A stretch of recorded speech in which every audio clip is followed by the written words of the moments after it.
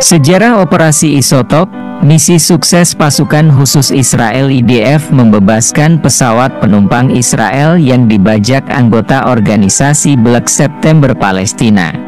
Operasi Isotop adalah nama sandi untuk serangan pasukan khusus IDF terhadap sebuah pesawat penumpang yang telah dibajak oleh pemberontak Palestina. Itu adalah serangan pertama yang berhasil terhadap pesawat yang dibajak dalam sejarah. Kronologi peristiwa pembajakan Pada awal tahun 1970-an, organisasi garis keras Palestina, yang bersumpah untuk mendapatkan kembali kehormatan yang hilang akibat kemenangan besar Israel dalam Perang Enam Hari tahun 1967, mulai dengan kejam menargetkan warga Israel dalam serangan di seluruh dunia. Salah satu serangan pertama terjadi di atas pesawat penumpang yang dijadwalkan dari Wina ke Tel Aviv yang dioperasikan oleh pesawat nasional Belgia, Sabena. Pada tanggal 8 Mei 1972, empat pembajak yakni Ahmed Awad, Abed Al-Aziz Atrash, Teresa Halsa dan Rima Thanos yang tergabung dalam kelompok Black September Palestina di bawah arahan Ali Hasan Salameh, menaiki penerbangan Sabena 571 di Wina bersama 90 penumpang lainnya dan kru kecil. Sekitar 20 menit setelah lepas landas, para pembajak berusaha menyerbu kokpit untuk mengambil kendali pesawat.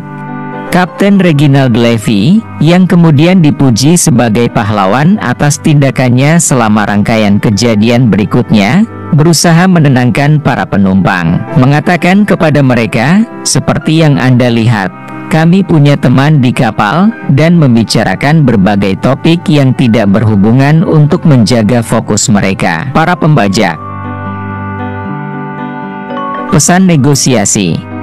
Tak lama setelah pembajak mengambil kendali pesawat, menuntut Kapten Levy mempertahankan jalur dan mendarat di Bandara Lot di luar Tel Aviv, Kapten Levy dapat mengirimkan sinyal bahaya rahasia ke Israel yang diterima oleh Menteri Keamanan Moshe Dayan. Dayan segera memulai negosiasi sekaligus mulai merencanakan operasi penyelamatan rahasia. Ketika mereka mendarat di Israel, para pembajak dengan jelas menyatakan tuntutan mereka agar Israel membebaskan 315 orang terpidana Palestina dari penjara mereka atau mereka akan meledakkan pesawat dan membunuh semua orang di dalamnya.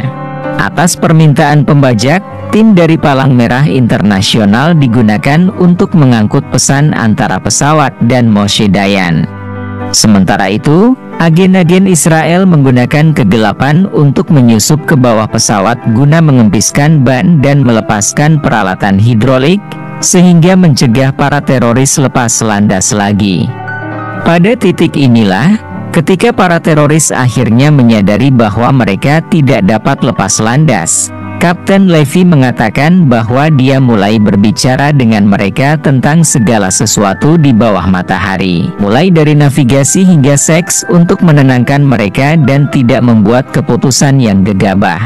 Kapten Levy kemudian diturunkan dari pesawat untuk menunjukkan kepada Israel contoh bahan peledak yang digunakan para pembajak untuk meyakinkan mereka tentang ancaman nyata dan segera terjadi. Menurut pejabat keamanan Israel, Levi juga menggambarkan penampilan para pembajak, posisi mereka di dalam pesawat, dan tidak ada kursi yang menghalangi pintu keluar darurat. Jalannya operasi isotop Pada tanggal 9 Mei, Moshe Dayan memulai operasi penyelamatan. Menurut Kapten Levi, tipu muslihat yang dilakukan Israel berhasil karena para pembajak mudah tertipu. Sementara Moshe Dayan menunjukkan kepada para pembajak sekelompok tahanan Palestina palsu yang menaiki pesawat lain di bandara yang seharusnya sudah diisi bahan bakar dan siap berangkat ke Kairo. Dia juga berjanji untuk mengirim sekelompok teknisi ke pesawat mereka untuk memperbaiki masalah yang kemudian memungkinkan mereka untuk lepas landas lagi. Sekitar jam 4 sore, sebuah tim yang terdiri dari 16 komando dari unit pasukan khusus elit Israel, Sayeret Matkal, dipimpin oleh calon Perdana Menteri Ehud Barak, dan termasuk calon Perdana Menteri Benyamin Netanyahu, yang mengenakan seragam pekerja kulit putih yang menyamar sebagai teknisi yang dijanjikan, dengan cepat mendekat pesawat.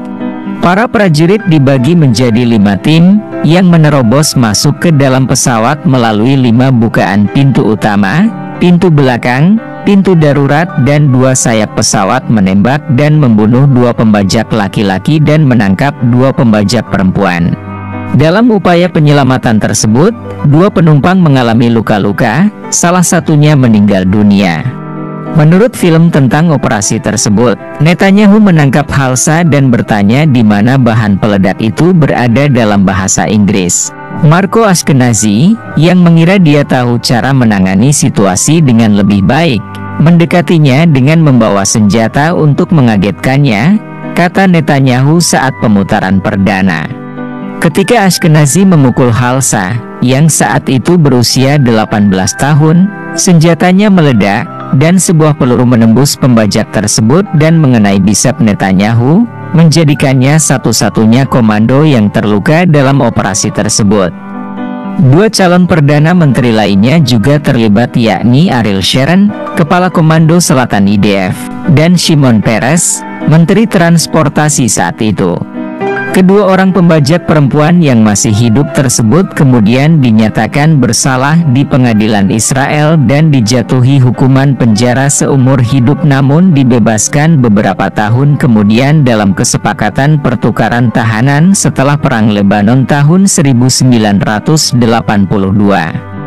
Kelompok organisasi yang mereka ikuti, Black September, yang baru dibentuk dua tahun sebelumnya, kini masuk radar internasional.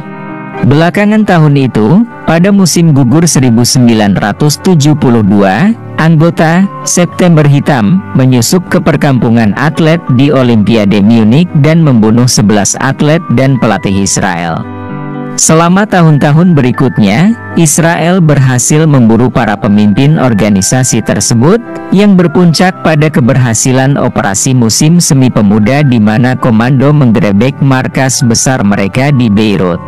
Ali Hasan Salameh, yang merencanakan operasi Sabena serta pembantaian Munich, terbunuh oleh bom mobil Israel di Beirut pada tahun 1979.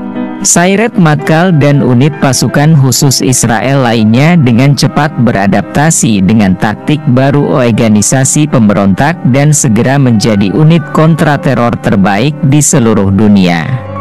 Pesawat yang dibajak itu sendiri sebenarnya segera digunakan kembali oleh Sabena dan kemudian dibeli oleh Israel yang akhirnya menjual relik tersebut ke Angkatan Udara Israel dan berfungsi sebagai pesawat mata-mata selama beberapa tahun. Kapten Levi disambut sebagai pahlawan di Israel, di mana Perdana Menteri Golda Meir mengadakan makan malam untuk menghormati keberhasilan operasi tersebut dan menghormati Levi dan istrinya, yang tanpa sepengetahuan para pembajak, berada dalam penerbangan yang sama ke Israel. Kapten Levi pensiun dari pekerjaan pilotnya di Sabena pada tahun 1982 dan pada tanggal 4 Agustus 2010, ia meninggal dunia pada usia 88 tahun. Pembajakan sebenarnya terjadi pada hari ulang tahunnya yang ke-50. Semoga pembahasan ini dapat menambah wawasan pengetahuan kita semua. Nantikan video-video berikutnya hanya di channel Deladuta My Queen. Jangan lupa like, komen, subscribe dan share bila video ini bermanfaat. Salam jas merah, jangan sekali-kali melupakan sejarah.